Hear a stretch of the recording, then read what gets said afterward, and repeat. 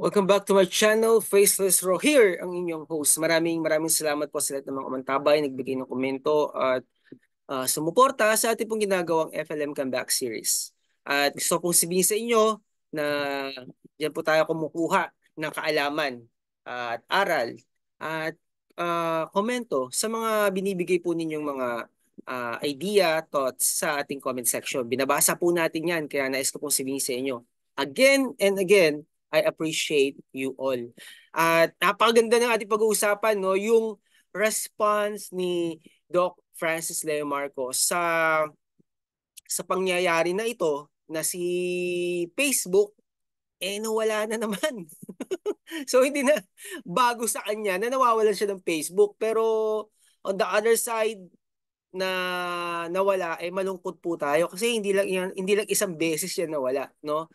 At patuloy na nagbibigay ng uh, warning no? Nagbababala syempre si Doc Francis dahil napakaraming mga scammer no? Gusto niyang bigyan tayo ng uh, information no? Kaya nagbibigay siya lagi ng announcement. Oh wala na akong uh, Facebook. Mag-ingat po tayo sa basher at sa, sa scammer no uh, isa lang naman yan eh, yung scammer basher din, di ba? So, pinag-iingat niya po yung mamamayang mga Pil- mamamayang Pilipino sa mga scammer kasi marami pong nai-scam, hindi biro to ah.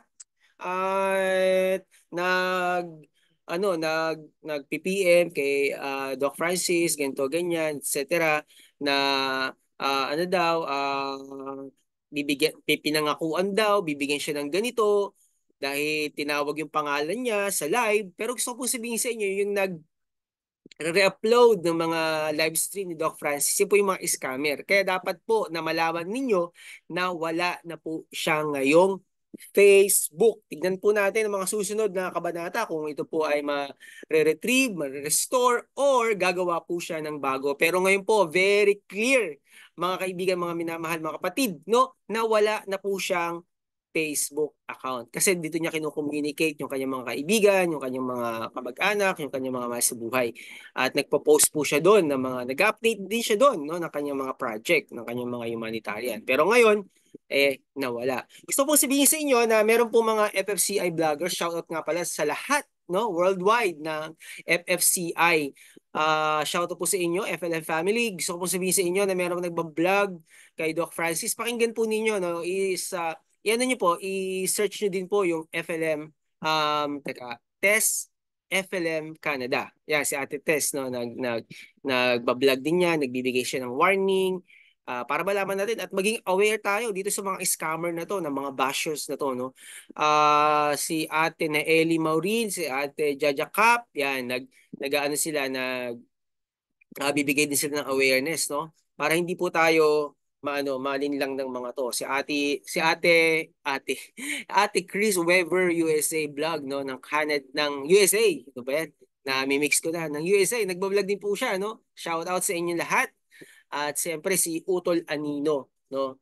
Uh, an, uh, Anino Angel no uh, ayan po ang ano uh, Team Abot Kamay. Yan sila sila Ma'am Lady Shadow Channel. Sila po ay isa sa mga uh, mga nagba-vlog kay uh, Doc Francis at uh, ina-expose din po nila itong mga scammers, itong mga bashers na to na kasi matatagal na sila nang nagba-vlog no and up to now talagang solid sila kay Doc Francis Leo Marcos. Kaya kung sino naman nagsasabi, yung nag-comment sa akin na meron pa palang vlogger si Doc Francis, meron po, marami. Hindi lang ako nagbablog sa kanya, madami pong nagbablog. Kaya shoutout po sa lahat ng mga vloggers na nagbablog kay Doc Francis, no? Kay Chinoy ako, no? Nagbablog din siya kay Doc Francis. Salute sa iyo, sir. Uh, sino pa ba na, na ano na masya-shoutout natin na nagbablog kay Doc Francis. Gusto ko sabihin sa inyo na uh, marami po siyang supporters. No? Yung iba nga ay silent supporter lang. Pero grabe po mag-support yan. Kaya gusto ko pong pansinin po ninyo, itong papakita ko po sa inyo yung video clip na tignan natin yung response ni Doc Francis sa ganitong mga uh, um, sabihin nating atake ng eh, ng ano ng kanyang ng ating mga bashers no? Talagang inangkin yung basher okay panoorin po natin ito. At uh, ito po ay fresh mga kaibigan no? Uh, dapat talaga expose natin to kasi kahit na ano kahit na ito mga basher gagawa ng mga ano yan, eh, mga strategy basta makapang ano lang, makapang scam lang. Wala na naman tayong ano, Di ba? wala na naman tayong Yung ginagawa niya. wala na naman tayong live. Ay, wala na naman tayong live. Wala tayong Facebook. Oh, na-report na naman. Hindi ko alam kung sino nag-report. Ah, pero parang meron silang ayaw na post ko na nakikita. Kaya nire-report nila. Ah, Yes. Siguro, oo. Meron taong, meron akong upload na ayaw nilang makita. Kaya, ah, ika nga eh, reporting. Okay. Walang problema yan. Oo. Gagawa ulit tayo ng bagong Facebook pag nagkataon.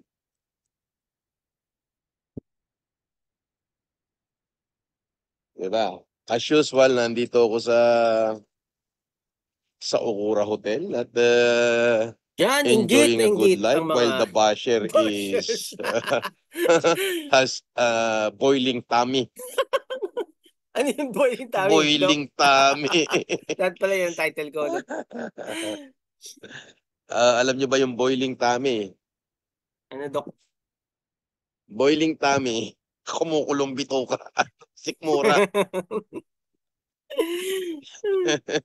Good morning. Nagdidikit-dikit oo, bituka. Grabe. Wild Child, uh, boss. Good Yeah. morning, sabi ni Wild Child. Shout out. Tignan nyo naman Sarina yung response niya. naman. Paz, Na- Kadag, Napakasaya ni boss. sir. Danica, Shego, oh, yan. Basher, pasok. Basher pasok. Janice P. Ate Janice P, shout Sorry, out. Storm. Okay. Super thank you sa ano po ah, pakulay Ate Janice. I Yes, appreciate thank you. you po. Yeah, salamat. Tignan nyo ang saya ni boss, di ba? No, no, no. I have someone. Ayan yung response niya. At yan yung gusto ko sabihin sa inyo. Kung meron mga problema, mga ganyang reporting, maging masaya lang tayo. Oh, ay wala na naman ho yung ating Facebook. Uh, Janice, Lovely J, good morning. Hi Lovely, again, hello.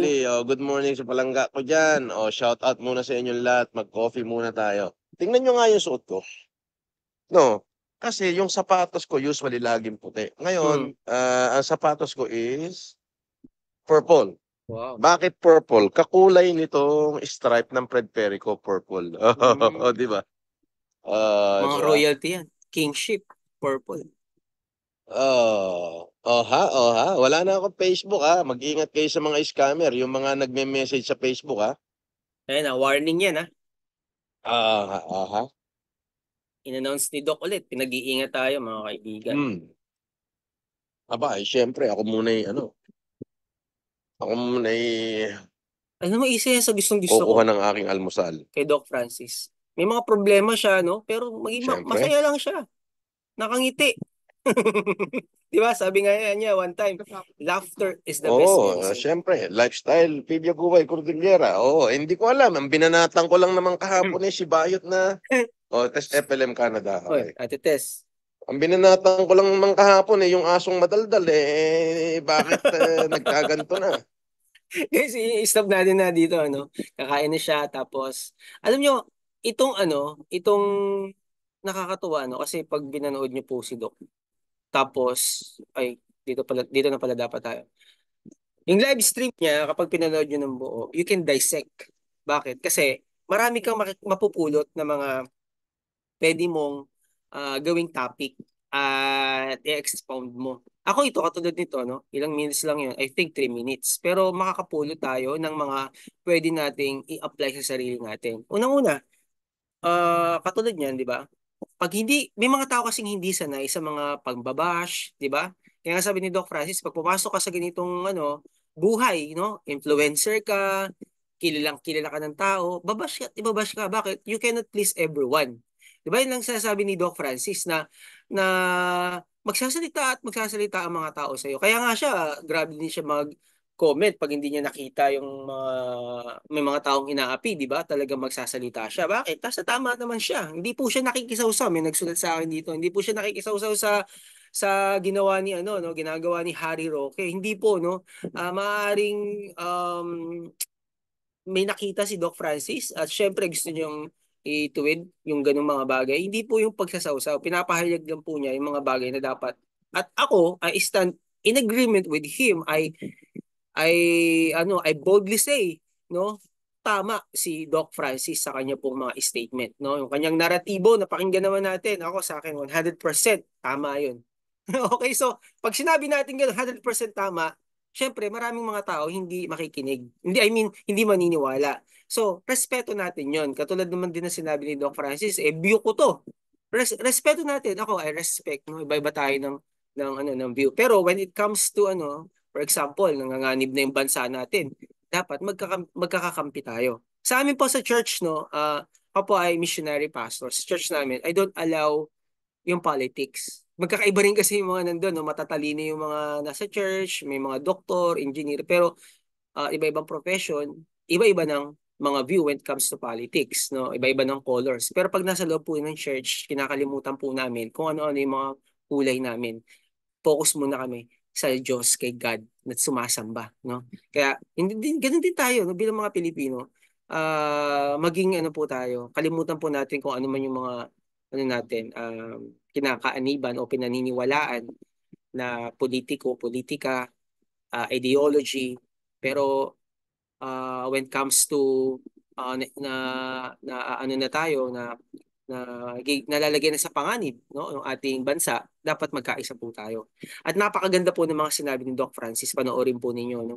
Um ilalagay ko mamaya sa description yung link na pinanood po natin. Ganyan naman po yung ginagawa natin dito. At panoorin niyo po ng buo no? At makikita po natin, no, doon sa response ni Doc Francis, anong unang-una niya? Masaya siya, katulad na sinabi ko kanina, di ba? Sabi niya, ni-remind niya tayo, actually, nasa Bible yun. Sabi niya, laughter is the best medicine. And it's true, di ba? Dapat maging masaya tayo. Paano tayo uh, ano, uh, humarap sa hamon ng buhay? Isa sa pinaka-positive na character ay maging masaya. Okay? Uh, yung happiness and then yung joy sabi, madalas natin naririnig yung happiness ay nagde-depend down sa surroundings, no? Kung halimbawa mataas ang bonus, masaya ka. Pero pag mababa ang bonus, medyo masaya ka lang, no? Medyo medyo lang. So, sabi naman sabi ng isang ano preacher, yung joy, uh, joy is a product of the Holy Spirit, product of God, product of the Holy Spirit. So, hindi siya nag base sa kung ano man yung nangyayari sa paligid mo. Kaya kahit na mababa yung sweldo, maliit lang yung sweldo, masaya ka pa din. So in other words, yung kagalakan ay nanggagaling sa Lord. Naka-establish sa Lord. Kaya kung ano mang mangyari sa paligid mo, masaya ka pa rin. Alam niyo, share ko po sa inyo to, no? Uh, sa family namin, uh, may problema. Kaya ilang araw na rin kami puyat. Uh, at salamat po sa lahat ng mga tumulong kay Ate Faith, no? kay Ate Michelle, uh, sa barangay namin, sa kay Kapitan Ian, salamat. No? At sa mga uh, um, uh, pulis na tumulong dito sa PNP tawag dito uh, sa Paranaque no. At syempre salamat din kay Captain Magtibay ng AFP yung yung ano yung ating chaplain at syempre kay uh, Lieutenant Colonel Butikara yung classmate ko. Sino pa ba? Si classmate ko din, yung batchmate ko si Turo, PNP retired na retired na pala siya no. And then si Mga Liag, uh, mga classmate ko yan na nasa serbisyo pa. Sino po ba? Si Araw, Sheriff Makati. Araw, thank you. At sa lahat po, sa lahat po ng mga nag-advise, no.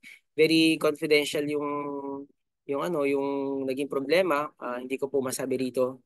Pero salamat po sa inyong mga panalangin. Okay?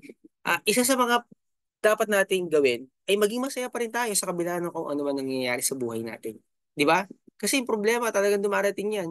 Pero pinakamahalaga kung paano natin to harapin.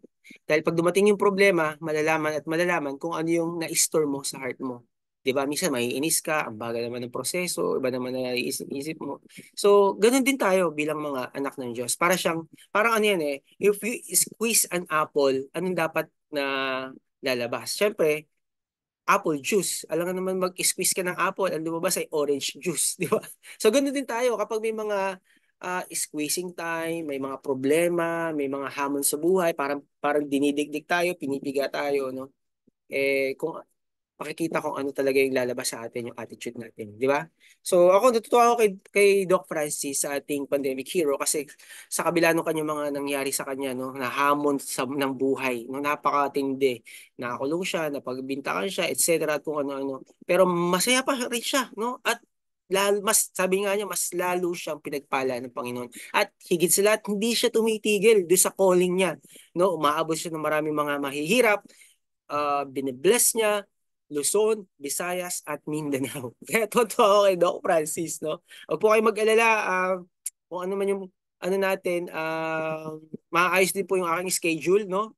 Uh, uh, makakapag-help po tayo sa ating uh, uh, pandemic hero, walang iba kundi si Doc Francis De Marcos. Yan po yung mga taong tinutulungan. Okay, kung ano man yung matutulong natin na maging available tayo. Kasi sa ngayon talagang nagagawa ko ng thesis, nag-aaral po ako, tapos uh, may tinatapos. Kaya sobrang broken po yung time. Tapos nagkaroon pa ng problema. Ah, oh Lord, hallelujah.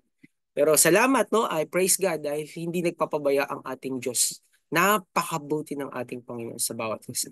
Okay guys? So napahaba na po ata ang aking uh, kwento sa inyo. Kita-kita muli tayo sa susunod nating vlog. Okay? Sa lahat po na nagmamahal sa ating pandemic hero, walang ba ako si Doc Francis Leo Marcos. Nais ko pong sabihin sa inyo na mahal kayo ni Doc Francis. At syempre, sa lahat din po na nagmamahal kay Faceless Raw, maraming maraming salamat po. Kita-kita muli tayo sa ating episode dito lamang sa ating channel. At salamat nga pala, no? Bago, bago tayo magtapos, salamat kay Ate Janice P. Uh, nagpalipad po siya. Thank you so much po sa, hindi ako nagkakamali, that's $10, $10. So, $20. Thank you so much po. At syempre sa lahat, shoutout ko na rin yung mga nagpa-member.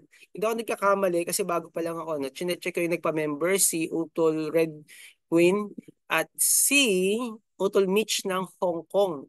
Saan bansa ba to si... Basta Europe siya, no? Sa Europe. Ano ba yun? Nakalimutan ko. Okay, salamat po no sa mga nagpa-member. Okay, at nagpakulay. Salamat po. I appreciate you. Uh, yun lang mga kaibigan, kita-kita muli tayo no, sa susunod na episode dito lamang sa ating YouTube channel. Bye-bye! Don't forget no, to pray for uh, Doc FLM. Okay, bye-bye guys.